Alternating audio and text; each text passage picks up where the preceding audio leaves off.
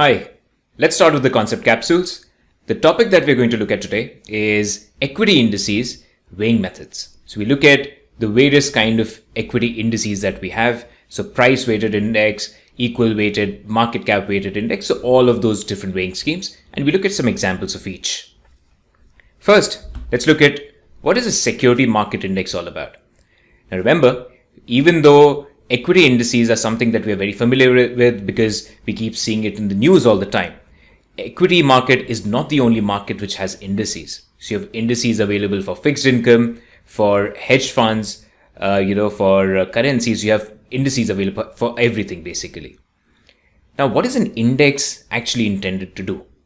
The main point of having an index is that it is a representation of some kind of a market. So it helps the investors track the performance, risk. Uh, you have ETFs which use these indices as benchmark as well. Now an index may have two different versions. So let's see what these are.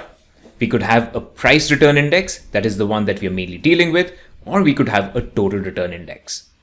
Now price return index is, as the name suggests, tracks only and only the prices of the constituent securities. Whereas when we talk about a total return index, in addition to the prices, it also tracks any kind of income or distribution that is being done. So any kind of dividends or reinvestment of interest that is being done, it's going to track that as well.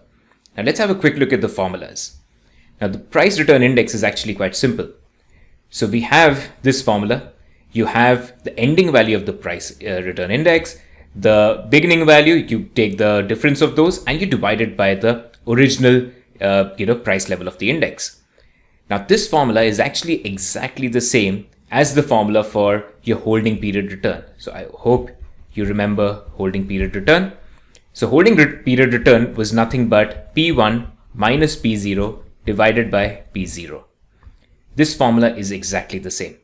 So remember price return index as basically holding period return, right? It's not a new formula as such.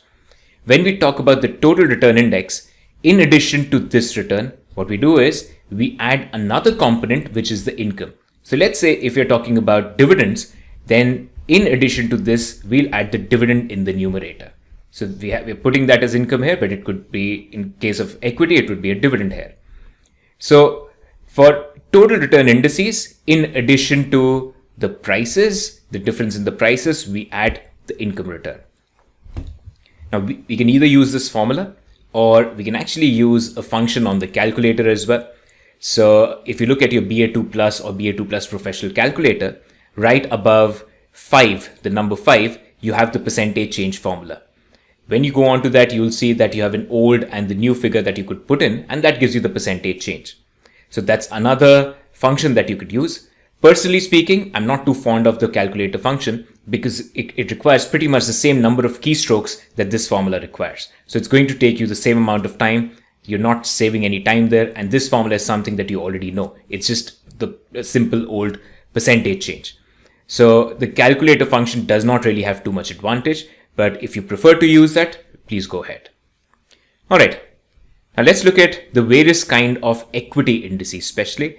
Here we were talking about the general security market index, which could be applicable to any kind of market, but we are right now focusing on the equity indices. So let's look at the first type of equity index. Now the first one is the easiest type of index and that is the price weighted index. Now it's the simplest type because all that you're doing is effectively you're assuming that you're purchasing one unit of every single constituent security. So if you have three different stocks, we're simply adding up the prices of all of these three stocks. So that's how you're doing it. And then you're simply calculating an average. So it's like you've invested in all the three stocks, but you're purchasing only a single unit of every single stock. So simply calculating the average opening price of the index and average closing price of the index, and you're calculating the percentage change. So it can't get easier than this. So this is the simplest type of an index, but it does come with its disadvantages as well. So it's the simplest type of index and it's simply an arithmetic average of the prices of the securities included in the index. Examples of this are the Dow Jones Industrial Average and the Nikkei. Now let's have a look at the example. Now you have stocks X, Y, and Z. the prices on December 31 are given and prices on Jan 31 are given. So think of the price on December 31 as your opening one, on Jan 31 as the closing one. So in terms of holding period return, just like we have P1 and P0, it's the same concept. Now, how do we calculate the price weighted index and the price weighted return? Simply average the three prices. So 20 plus 30 plus 70 divided by 3 and 30 plus 25 plus 80 divided by 3. So you're just calculating the average prices and then you're looking at the percentage change of that. So the price weighted index level for December is the average, which is 40. For January, that's the average here, that is 45. And you calculate P1 min uh, minus P0 divided by P0, which was the holding period return, and that, that comes out to be 12.5%. So it's a very easy index to calculate. Now the problem with this index, however, is that whenever there is a stock split or a stock consolidation, then you need to make sure that your index level is not changing because you know that the price is going to take a hit. So let's say if you were to do a two for one stock split, then we will need to adjust the index level so that that does not change. Because if we were to go by the price, the price would theoretically just become half. So that is going to impact the index and we need to make sure that it doesn't impact. So what we do is we adjust the divisor. So it's a simple adjustment and but that is something that has to be carried out every time there is a stock split or a stock reconsolidate or stock consolidation.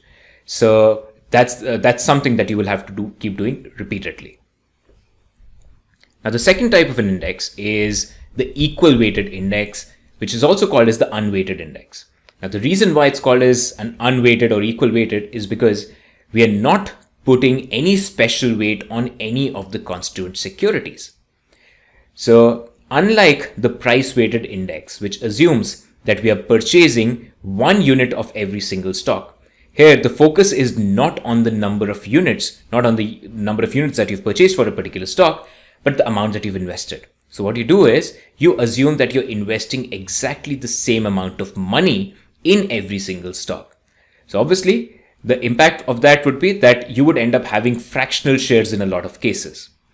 So for instance, if you were to assume, let's say you start with $10,000 and you have, let's say five constituent securities in an index. That means you're putting in $2,000 per security. So the dollar amount that you're investing in every single security is going to be the same. That's the reason why we're calling it as equal weighted index. So this method assigns an equal weight to each constituent security at inception how do you calculate the weight? You simply do 1 divided by n. So if you have 5 securities, the weight of every single security automatically becomes 1 by 5. Now the index is calculated as the arithmetic average return of the index stocks. Now examples of this, you have the value line composite average and the Financial Times ordinary shares index. Now let's look at a, uh, let's look at an, a numerical for this. So assume the divisor is 10. Divisor is the concept that we talked about earlier. So that simply means that that is what we use to divide while calculating the average later Now here is the example. So you have securities A, B, C, D, and E. We've been given the total number of shares. We've been given the opening price as well as the ending price of all of these securities. Now what would be the December 31st value, which is the opening value? Essentially, we do 50 into 40. The number of shares times the opening price that gives you the December 31st value. Similarly, the ending price is 44. So what will be the Jan 31st or the ending value? That will be the total number of shares into the ending price. So 50 into 40 gives you 2000 here. 50 into 44 gives you 2200 here. And that is what you have to repeat across all the securities that we have.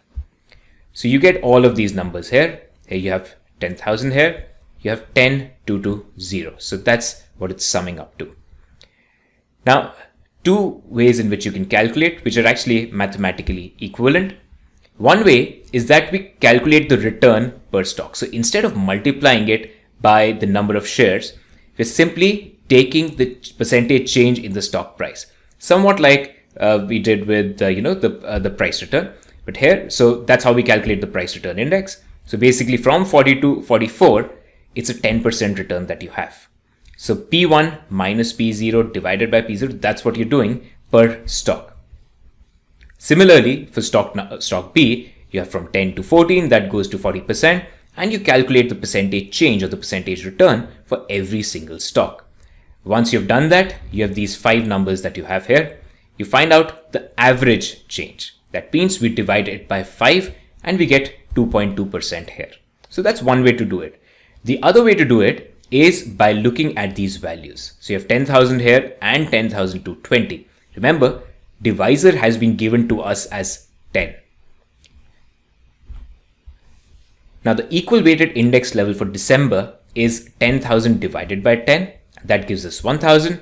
Similarly, the equal weighted index level for January is 10,220. Again, we divide it by 10. So that's 1022. And then we calculate the percentage change, which obviously still comes to 2.2%. Now, as you would appreciate, whatever divisor you use, that is going to be the same in both the cases here right now. So that's what we are assuming. So if the divisor is the same, then it doesn't really matter because both the numbers would have come out to be the same. So 2.2%, whether you use this or this, you're going to obviously get the same answer. Mathematically, it's equivalent. It's like taking the total shares common from the equations. Of course, you're going to get the same answer. So that is what your return is, 2.2%. Now, let's look at the next method. That is the market cap weighted index. Now, what is a market cap weighted index? As the name suggests, here the weight of a particular constituent security will depend upon its market cap. How do we calculate the market cap? Market cap simply means that we take the price of the share, price of the stock, and we multiply it with the total number of shares outstanding. So that's the market cap of the security. So the weight assigned to each constituent security is determined by dividing its market cap by the total market cap. Total market cap means for all the constituent securities, you've calculated the market cap and added it up together. So your weight is simply how much your market cap is in relation to the total market cap. So this is also called as the value weighted method. Now let's take an example. So assume the base value of the index is 1000. Again, we have five different securities. We have been given the total number of shares. We've been given the opening price, end price. Now we need to calculate the market caps. Market cap is simply share the total number of shares that we have into the opening price. So 500 into 40, so 20,000 here. Similarly, for the ending price, we do the same way. 500 into 44, that gives us 22,000 and so on. So we calculate all of these market caps and then we sum them up together. So 156,000 here, 144,000 here. That is the total market cap across the index. Now we calculate the weight of individual constituent securities. What will be the weight? 20,000 is for security A. That is the market cap it has. But what is the total market cap? That is 156,000. So 20,000 divided by 156,000 is the weight of this security.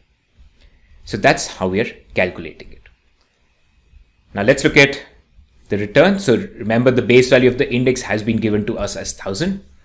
Now the beginning index value is 1000 that is already specified in the question. Now how do we calculate the ending index value? The new market cap is 144,000. The old market cap was 156. So index has actually fallen in, in value. So that is something which our new index level should reflect. So how do we do this? We take the new market cap, which is 144,000, divided by the old one, which is 156, and multiply it with the original level, which was 1000, the base level, which was 1000.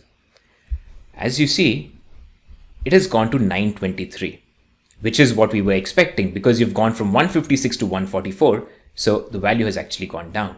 So from 1000, it has now gone to 923. So that is how we calculate the market cap weighted index. Now let's look at two more weighing methods which are there. Next one is the float adjusted market cap weighing. What does float adjusted really mean? Now it's very similar to the way we calculate the market cap weighted index. In fact, there's just one slight difference. instead of using the market cap, we use the float adjusted market cap. Now, what does that really mean? Uh, float adjusted market cap basically refers to the free float adjustment.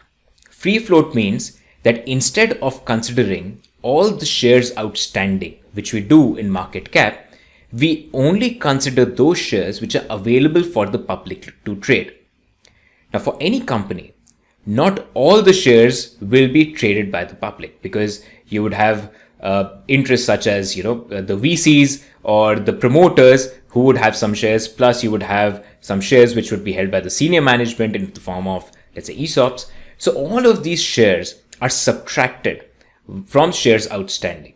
So you only take the free float and then multiply it with the stock price that is something that is called as the float adjusted market cap so stock price into the free float. So you're only taking those shares which are available for the public to trade and then you multiply it with the stock price. So that's the only adjustment. So it's just a difference in the number of shares outstanding. That's that that calculation is getting affected. Apart from that, everything else remains the same.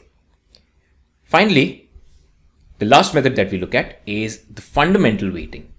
A fundamental weighting basically means that we are looking at one particular uh, fundamental factor and then using that to calculate the weights for all the constituent securities. For instance, we could use factors such as the PE ratio. We can use the PB ratio and uh, we would use these ratios and then base the uh, weight we are giving to one any constituent security on how much that ratio is in comparison to the total. So that's how we can calculate the fundamental weighted index. So it attempts to give the index a value tilt by weighing constituent securities based on certain factors. It could be the book value, earnings, dividends, any of these fundamental factors basically. So that's the fundamental weighted scheme.